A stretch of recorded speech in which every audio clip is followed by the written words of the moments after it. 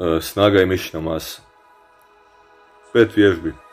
Čučanj, mrtvo dizanje, rameni pres, zgibovi i dizanje nogu do šipke iz visećeg položaja. Čučanj, duboki čučanj, olimpijska šipka. Guzicom do listova i gore. Napredu dok ne podigneš duplu svoju težinu.